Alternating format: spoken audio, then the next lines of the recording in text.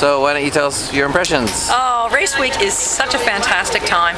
It's not only a fantastic time for the racers, for the sailors, it's a great time for the whole community. Everybody just comes to life. You, you, you drive through Chester, you go into the shops, you stop by the Save Easy, and the place is just booming. I mean, people are excited.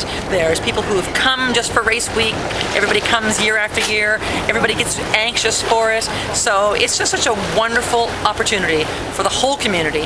And, and, and beyond that, because Race Week is, you know, it's, it's world renowned. And on the international scope, when you look at uh, some of the boats that are here, it's just a wonderful economic opportunity, economic driver for the community, but even more so, it just brings the whole community together. It's great. Yep.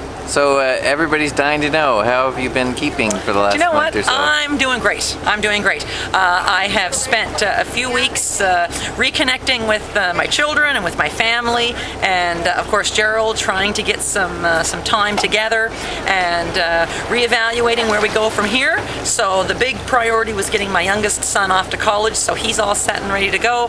My other three kids will be in their final two years of high school, the next two years, so that's exciting. And as for me, who knows what the future will bring.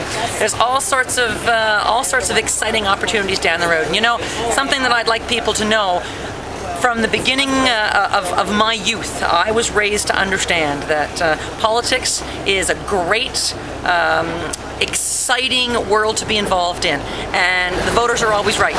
And you may not like what the voters do, but you respect it. I very much respect the will of the voters. And uh, I'm not going anywhere. I'm going to be around for a long time. See me in the years to come. Great. Thanks very much, Judy. Thanks, Ryan. Take care. Best of luck. Thanks.